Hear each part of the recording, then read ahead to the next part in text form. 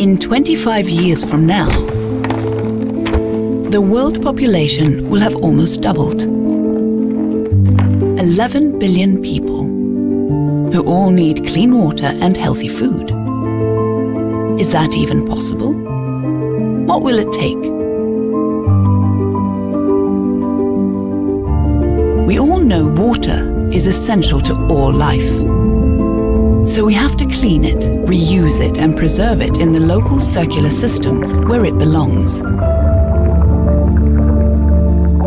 Much more food will have to be prepared with a deeper understanding of health benefits, affordability, and better use of resources like land and water.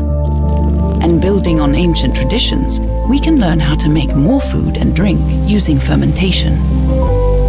Using vegetables, grains, seeds, beans, and lentils, we will find ways to make food and drink delicious and nutritious. Meat and fish will be produced in different ways, igniting new ideas to make the most of what we already have. We have to use solutions that create wholesome foods with respect for our planet. Our food systems need to be transformed so nothing is lost, but rather upcycled and regenerated. To put it simply, we need to make far more using less.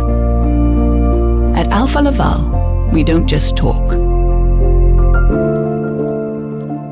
Together with customers and partners, we do what it takes, and we make it possible.